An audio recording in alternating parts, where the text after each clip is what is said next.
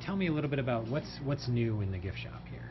Well, we have a slush machine and for young kids and coffee for mature people. Okay. We added that this year.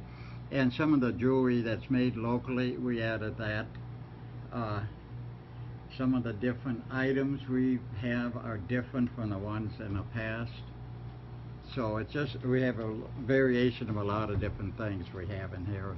Now it's it's a whole new look uh, for the gift shop. Can you tell me what uh, what I guess sort of theme you were trying to go? We for? have more cabinets made out of ma- old wood that displays products where people can stand and see them at their height. And it's uh, just much easier for people to shop. And we have a lot of the jewelry hanging on different pieces of wood and that. So it's just kind of a neat area for people to shop now. Why is it important to have uh, kind of an inviting gift shop like this? Gift shop's important for through two different things, because financially it helps the Arboretum, but it also gives people memory of being to Dubuque and seeing shirts and wine that's made in Iowa that is sold by nonprofit museums.